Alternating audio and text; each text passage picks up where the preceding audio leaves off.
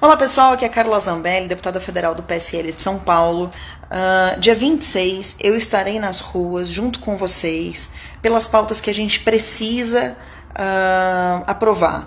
Estou gastando meu tempo falando com as pessoas que vão para as ruas para a gente poder fomentar, tentar falar com o caminhoneiro, ver se eles podem também ajudar e etc. Então, é, eu estou tentando o máximo que eu posso fomentar a ida de novas pessoas para a rua, tá? Queria falar um pouco sobre a pauta, sobre a história, assim, sobre o que eu tenho falado com jornalistas a respeito de como surgiu essa manifestação, por que, que algumas pessoas não aderiram. Um, e de repente a gente até tentar fazer crescer isso e de que forma que eu acho, aí é minha opinião, que a gente deva se portar nas ruas nesse domingo, tá? E vou dizer uma coisa, esse tipo de, de assunto que sai assim, né, é, do, do MBL, falar não sei o que e tal, tudo isso daí ajuda a fomentar o assunto 26 de, de, de maio nas ruas e eu acho bem legal que a gente esteja conseguindo criar um eco muito grande a respeito desse assunto. Não concordo com a Janaína, não concordo com o MBL. É lamentável que ele não esteja ajudando na manifestação? É triste, né? Eu gostaria que eles estivessem ajudando, assim como eu gostaria que a Janaína estivesse ajudando. Se vocês quiserem ir lá bater na Janaína, bater no MBL, eu não vou brigar com vocês, tá? Quer ir lá xingar a Janaína? Bom, fica à vontade, cada um é dono do seu país, cada um, cada um é dono do seu nariz, e, e espero de verdade que é, olha só, quem fizer vômito vai ser bloqueado, tá, Valmar? Já te bloqueei, porque vômito não entra aqui na minha página, não. Pessoal, essa coisa assim, ah, me arrependi de ter votado na Janaína. Fiquem à vontade, para vocês pensarem o que vocês quiserem. Em relação ao Centrão, é, muita gente ouviu um áudio que espalhou em vários lugares que eu estava falando dos partidos do Centrão e algumas pessoas entenderam que tinha que sair batendo indiscriminadamente em todas as pessoas que fazem parte do Centrão. Quando a gente generaliza e fala o Centrão quer destruir o Brasil e etc., então a gente vai precisar de parte do Centrão. É, quando vocês forem compartilhar, coloca dia 26 eu vou, dia 26 eu vou estar nas ruas, etc. Uh, chama seus amigos, manda pelo WhatsApp os convites. Vamos estar na Paulista ou em todos os lugares do Brasil onde vocês estiverem. Quem não se inscreveu ainda no meu YouTube, se inscreve lá, Carla Zambelli. É, tô chegando quase a 40 mil inscritos. Olha, gente, dificuldade. Coitado do MBL perdeu 200 mil de ontem para hoje. Eu fico pensando, nossa senhora, eu tenho nem 40 eu tenho ainda. Tô dizendo coitado, enfim, né, vocês entenderam. Mas é. É duro, viu, gente? Não é fácil, não. Olá, pessoal, tudo bem? Aqui é Carla Zambelli, deputada federal pelo PCN de São Paulo. Não sei se vocês sabem, eu sou monarquista, já me declarei desde 2017, mas antes eu já era. E eu já vi num evento bem desanimado, sabe? Quase não tem ninguém. Dá uma olhada. Ave! Ave! É, tive a felicidade de ser eleita Uh, praticamente não fiz campanha para mim.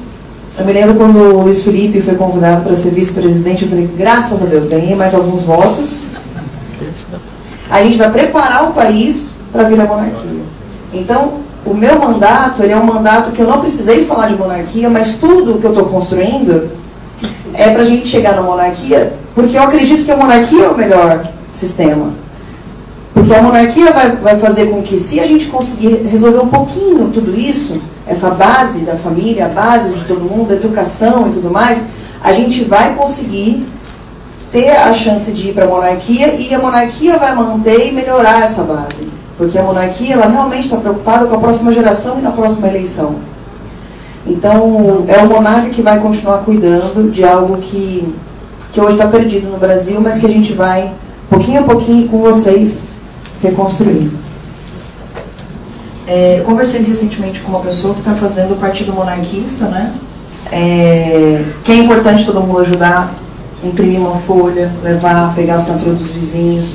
Eu disse para ele, não posso fazer parte do partido agora, mas eu posso ajudar a fomentar as assinaturas. É, não é fácil. Né? Se, essa, se o projeto de assinatura eletrônica passasse de uma forma correta, bem feita, sem fraude, a gente conseguiria ter algo um pouquinho mais rápido. Eu acho que a gente tem que se infiltrar em todos os partidos. É meio que uma estratégia de guerra.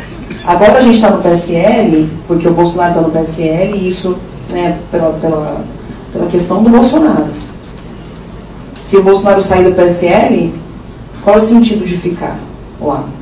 O Bolsonaro teria uma força gigantesca para fazer assim ter um partido no dia seguinte. É só ele pedir numa, numa live dele.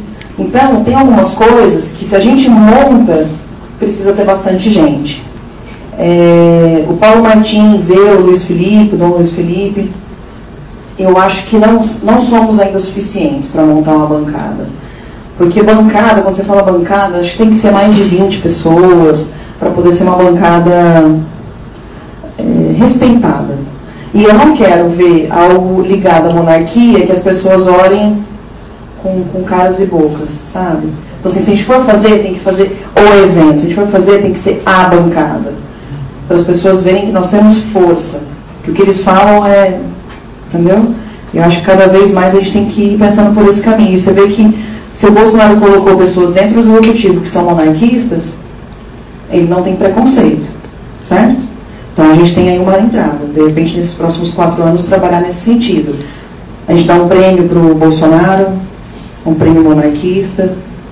A gente precisa aproximar as pessoas que já não têm esse preconceito. E de repente ir trazendo. Bem, a senhora deve lembrar, no ano passado, no, nos nossos eventos, eh, não tinham 100 pessoas. Hoje nós temos mais de 200 pessoas presentes. Acho que aumentamos a nossa